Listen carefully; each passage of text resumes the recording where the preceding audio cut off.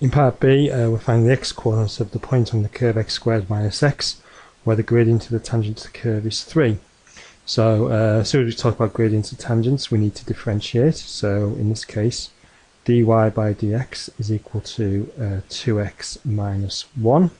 And we're given that the gradient of the tangent um, is 3. So there we can replace dy by dx with 3. So 3 is equal to 2x minus 1 solving for x now, um, add 1 to both sides, 4 is equal to 2x, divide through by 2, x is equal to 2.